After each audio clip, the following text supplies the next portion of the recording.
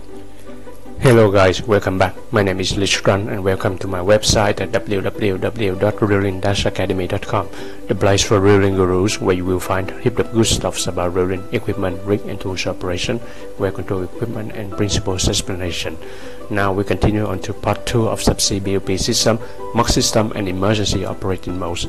Many of what we touch base hereafter will be based on part 1 in which we have discussed the operating principles and mechanism of the indirect hydraulic subsea BOP control system. Thus, if you are unfamiliar with the concept of anything discussed in here, please visit part 1 before continuing. So what is MUX? MUX stands for multiplex communication method that allows multiple simultaneous signals to be sent over a single communication cable. In the world of subsea BOP, it all comes down to reliability and redundancy. Therefore, test reliability analysis and redundancy are to ensure the entire reliability of the system and it is all it's about and the role of the subsea engineer and MUX engineer are crucial in maintaining a reliable MUX system.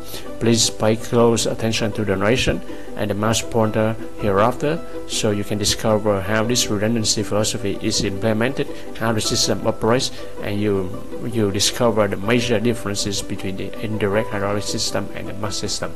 Now for a BOP function there is only electric signal sent from either the driller's panel or the tool pusher's panel to the central control unit. The central control unit will then relay this signal down to the subsea electronic modules SEMs in the parts. In the active part and in the inactive part this is the MUX cable. It goes from the control unit the central control unit through the reel and it goes down to both parts active part and inactive part in here and the subsea electronic modules in the in here they are PLCs PLCs receive signal, decode the signal, and trigger the coil of the corresponding solenoid valve. This solenoid valve now is electric energized and hydraulic operated, and this is the first major difference from the indirect hydraulic system in which the solenoid valve is at surface and it is electric energized and air operated. Now the, solenoid valve moves and transfers the 3000 psi pilot fluid through its port to the corresponding SPM for the desired BOP function. The opposite BOP function SPM pilot line is vented to the accumulator bank. So the, the pilot circuit is a closed loop circuit, but the difference is all happens within the subsea part and the pilot fluid is provided from the subsea pilot accumulators stored within the parts both in the inactive part and in the active parts in here.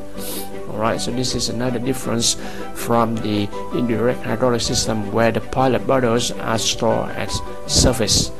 Alright and another similarity with the indirect hydraulic system is that at surface we also have the part selector to choose blue part or yellow part to be the active one. The unselected part umbilical will vent the power fluid to the surface reservoir tank. In this case, this this is the in, inactive part and the 1 inch hose diameter hose in here will vent the fluid in it back to the surface tank and the Koomey unit in here. Alright? And the 3000 or 5000 power fluid is supplied from surface accumulators. This, these are the surface accumulators at the Koomey unit. It is supplied from surface down to the selected part and also from the subsea mounted accumulators. This is, these are the subsea mounted accumulators on the LMRP and on the stack. So the surface stream and the subsea streams are drawn together into one common stream. And this common stream now goes to the regulator where the regulator will regulate it down to the appropriate working pressure for each for a certain BOP function such as 1500 psi for rams and connectors, 500 to 1500 psi for annular and bull short. However, the blind shear ram BSI is operated at full system pressure 3000 or 5000 psi depending on system. When the SPM is activated by the pilot fluid, it transfers this power fluid to activate the BOP operating pistons. The hydraulic fluid from the other side of the operating pistons in the operating cylinders is routed back to the opposite function BSPM valve and vented to the ocean. This, happened within the part in here, in the active part alright and we have regulator in here the way it works is like this one at surface control panel you press increase or decrease button and the signal is then relayed down to the PLC. The PLC decodes it, send this send the command to the regulator, activate the regulator to regulate the, the, the power fluid. At the output part of the regulator, there are uh, the, the, the, the, the port is linked to a pressure uh, transducer uh, module right subsea pressure uh, transducer module in here. And that module will decode the reading and send the signal up to the control central control unit. The central control unit will display it the reading on the panels in here. That's another different way from the indirect hydraulic system. Alright and here we discover uh, other major component of the MUX system. We have the MUX cables going down from surface to the parts to the yellow part and the blue part here yellow part and blue part blue yellow in here. And together with this MUX cable in the umbilical we have the electrical power supply cable to supply 230 volt AC to the parts to the electronic parts in here and to the solenoid valves and in the umbilical we also have the 1 inch diameter hose to carry the surface supplied power fluid from the accumulators on the surface. So in the normal operation the electrical and the hydraulic supply power supply for the MUX are provided from surface. But in emergency situations such as disconnection from the rig electrical power is supplied from the batteries within the part and the hydraulic power supply is from the subsea accumulator bottles and the commands are sent from the EDS emergency disconnection system or the automatic mode function mode or deadman system. Alright this is how it all how it's all about the, the, the, the major component and the principle of the, uh, the MUX in here. Now we continue to discover the major components inside a part a part is a part of the subsea MUX system as we said many times there are two identical parts they are to be backed up for each other to be redundant for each other. And within each part things are designed identical and the philosophy the redundancy philosophy is applied for parts inside the parts within the parts as well so these parts are mounted on the LMRP and they contain SPM valves, regulators, subsea electronic modules, subsea transducer module to, to transduce the pressure reading from the regulators, solenoid valve, and pilot hydraulic uh, accumulator barrels. We have here the pilot accumulator barrels here. We have the electronic parts of the part. We have solenoid valves in here. We will discuss more on the solenoid valves later. Uh, we have the hydraulic section here. And here we have only SPM regulators here. And we have stack stingers and LMRP stingers. What are they? The stingers here are the hydraulic fluid control connection means between LMRP and BOP stack. To connect, they are extended into the corresponding receptacles on the top of the BOP stack, and the seals of the stingers are then activated to prevent the leak. Now we come back to the solenoid valves. The solenoid valves, alright, what are they and how they work? And we said the electronic module in the part receives command signal from the surface, decodes it, and sends an electric signal to energize the coil of the corresponding solenoid valve, which will move to direct the hydraulic pilot fluid through it. This hydraulic fluid pilot will then activate the related SPM in the part. So it is similar to solenoid valve in the indirect hydraulic system. The difference now is it is located at subsea in the part is triggered by electric signal and in the but while in the indirect hydraulic system the solenoid valve is a surface and air operated now for these solenoid valves it sounds simple the way it works but there is actually a lot to talk about it especially with the tragic but extremely important lesson learned from what happened in Deepwater Horizon subsea BOP in the Macondo blowout alright now here we will examine how the electronic things are designed and, uh, within a part. Uh, we can see in here the redundancy philosophy is applied to these electronic parts as well. So within a part, uh, we have two SEM, two subsea electronic modules. So remember what we have in the active part, blue part, is repeated exactly the same way in the inactive part, yellow part in here. So now we come back, we say, okay, we have two SEM modules A and B so they are A and B are to be redundant for each other so in each SCM module we have one AMF board for the uh, emergency operating mode. We have one PLC and one solenoid driver board. So so basically we have two SEM alright and we have uh, and now we have two AMF board two PLCs two solenoid driver boards. Now we look at the batteries. The 9 volt batteries supplies the power to the AMF board.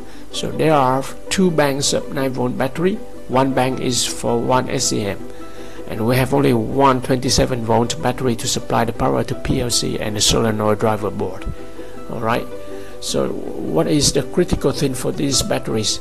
They have they have to be within their life cycle to avoid unexpected drain off because if this battery is drain off for sure this AMF is board here is not supplied is not powered.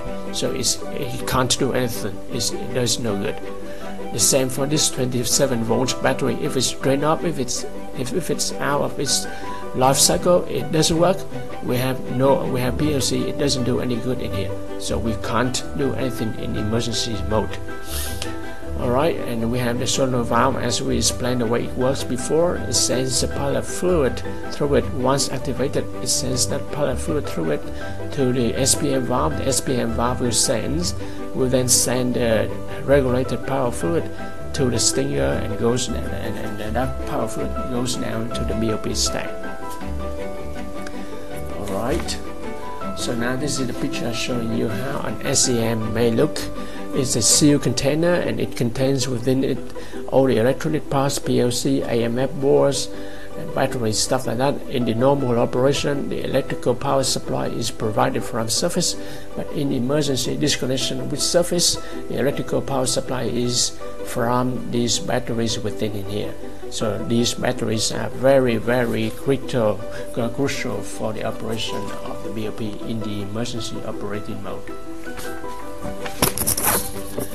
Uh, now we come back to discover more about the solenoid valves in the part Each BOP control system solenoid valve has two operating coils. We call it coil A and coil B. One coil is connected to one SCM, either SCM A or SCM B, and they are meant to be redundant for each other, I mean the coils. So energizing one coil is sufficient to activate the solenoid valve.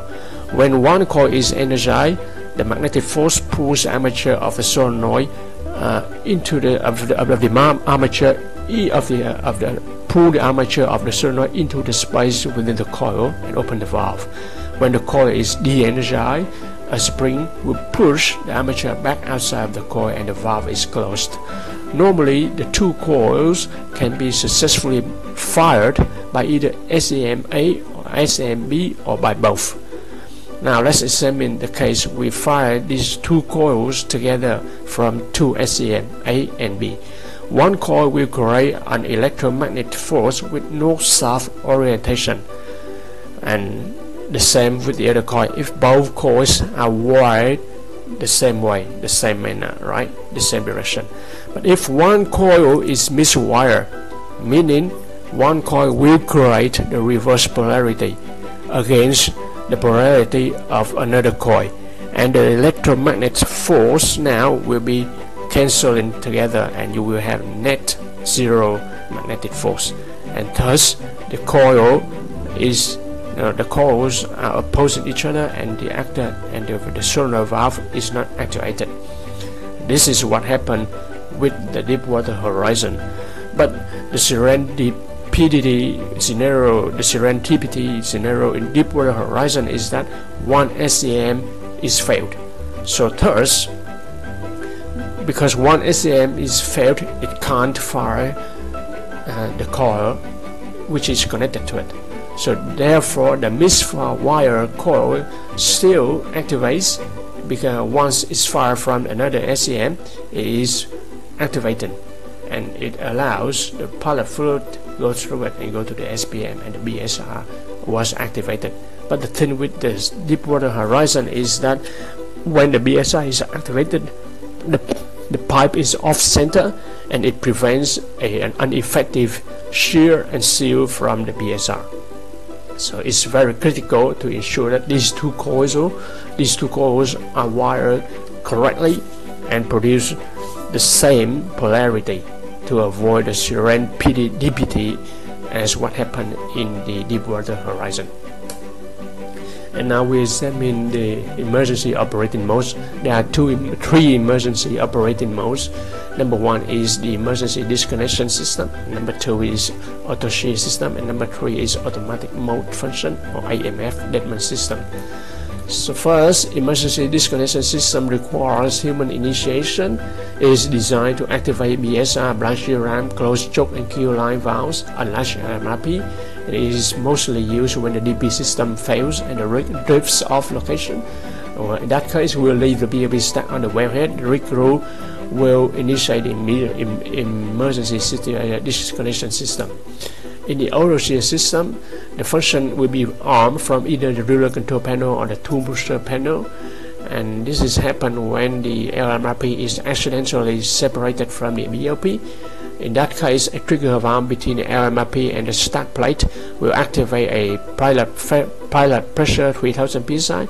This pilot pressure energizes the power of hydraulic fluid to activate the BSR and close the ram lock. And the pilot and the power fluid now is provided from the stack mounted accumulators. And now we come to the automatic mode function AMF deadman system and it, this system doesn't require human intervention as, as well and it is triggered upon three conditions. Number one you have loss of electrical power and communication from the MUX umbilical number two you have loss of communi communication from the part SCM's modules. And number three we have the loss of hydraulic pressure from surface to the subsea BOP this is detected by comparison between the hydraulic pressure of a system against the subsea hydrostatic pressure. And the power hydraulic now is provided from the subsea bottles and it is made available to both parts blue part and yellow part and both parts act in parallel to complete the command. And this is all about the major component and the operating principles of the MUX system. Thank you and hopefully that you guys did get some uh, useful information from the presentation if you have any questions or comments, please direct them to my personal, personal email address at lich.tran at 01.com uh, lich.tran01 at yahoo.com sg and not to forget to check out the website www.drilling-academy.com where there are many other technical articles about upstream drilling in oil and gas and standards API standards and uh, no sort stuff like that for your reference. Enjoy and cheers. See you soon in next part.